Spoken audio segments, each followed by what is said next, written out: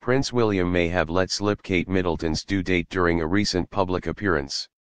The prince dropped a clue while addressing an audience member at a mental health conference in Oxford. Prince William may have dropped a subtle clue about when the next royal baby is due.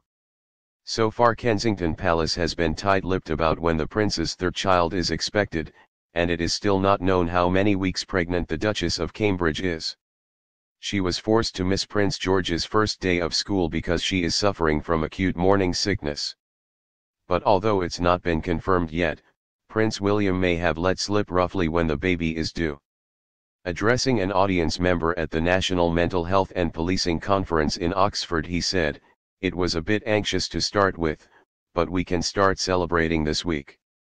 Generally expectant parents do not break the news until the 12-week mark, which seems to suggest Kate had passed this point when he made the comment.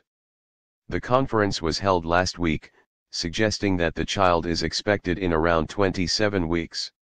If this is correct, it would make the new arrival a March baby if he or she born on time.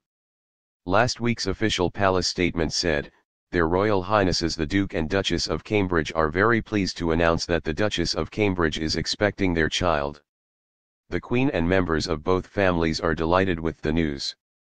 The arrivals of Prince George and Princess Charlotte brought the world's media and royal fans to the steps of the London hospital where Kate gave birth as people waited for a glimpse of the new royal babies. Kate suffered from hyperemesis gravidarum, an extreme morning sickness condition, during her first two pregnancies as well.